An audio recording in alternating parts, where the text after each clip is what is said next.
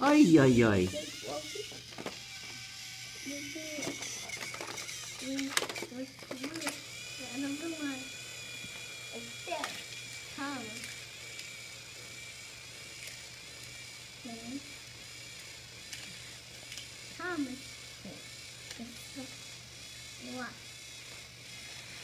Thomas. Is so helpful to carry the boulder around.